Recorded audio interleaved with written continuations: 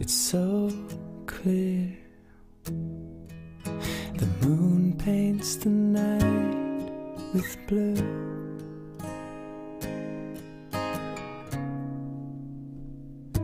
We can see everything, and everything is perfect.